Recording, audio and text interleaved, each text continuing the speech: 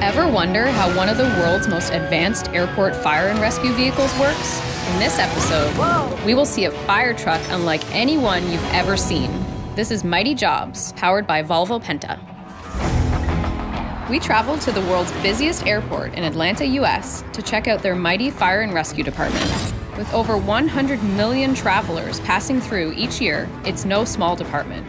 233 firefighters with 29 fire trucks are on standby around the clock, 365 days a year. When that trouble comes, yeah, you know I'm praying for 'em. Our guides are as tough as they look, trained for the worst imaginable, and always ready to leap into action. Here we have it, the Volvo Penta powered Rosenbauer Panther. And as we're about to see, this is no ordinary fire truck.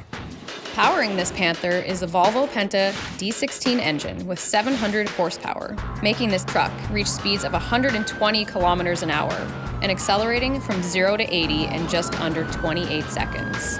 It has two water turrets, both with a discharge capacity of 9,000 liters of extinguishing agent per minute. We're now on the drill yard, and we're gonna show you how to do some targeting with the bumper turret and the actual HRET nozzle. And we're aiming for the cones, but if you knock down the barrel, it's okay. That's just the way we train. So once you knock that down, like that, and then I'm gonna aim over here, try to knock down this cone. Yeah, seems pretty simple. It seems not that simple. I think it's something she can do. I think it's something she can do too. You want to try Yes. it? Try it. You ready? I'm ready. There we go. So I do this like now? Yeah, you can hit start. Hit start. Yeah. All right. And when you're ready, you just let it You're go. ready. Let it rip when you're ready. Okay. All right. Squeeze to get water. Bring Awesome. it down. Great job. Good job. No, you didn't it the first time. right. No, you did Release not. the trigger. Now aim to the next one. All right. You see the target? Oh, I went too far. No, you did That's not. okay. No, that's perfect. Start perfect. shooting. Okay, okay. Start shooting. Little oh, movements, little oh, oh, movements, little movements. There you go. You got it. Wow. Way to go. Awesome. Good job. Here are some impressive facts about this mighty Panther. The tank holds 14,000 liters of extinguishing agent. If you were to put that volume into soda cans, you'd end up with 42,000 cans. Even more impressive, it only takes a minute and a half to empty the tank. Filling a normal sized bathtub would take just about one second.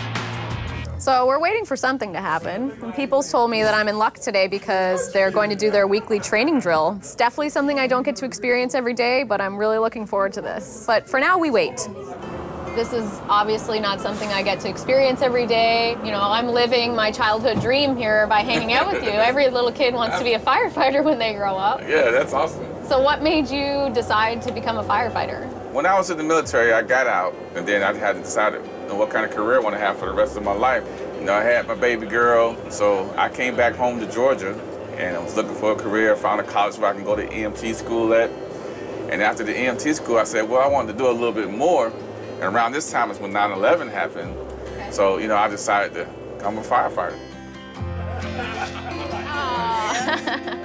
when you have. Oh, Oh, this is it. Okay. Ah, I'm, You ready? I'm following you know you. Where I'm sent. You go on that side. Okay, thanks. Don't leave without me. Rosenbauer, Arm 10, 3 and 8, Boeing 737 on fire. This is a drill, 1445 hours. All right, we've got a 737. It's fully engulfed, so so we're gonna we're gonna put the pedal to the metal. Rosenbauer 1083 responding to Lake Mirror Road. Our primary concern is going to be a means of egress to get the people out of that aircraft as soon as possible. I can't believe how big that fire is. We're going to be on the northwest corner providing a means of egress. We need the next two units to provide extinguishment. We've got a large amount of fire. Wow, it's hot.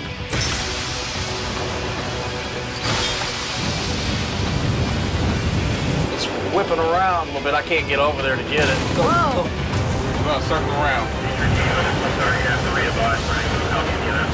RF-10 is almost out of water.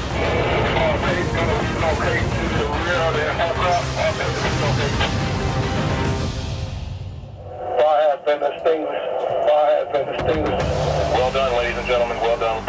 Good job.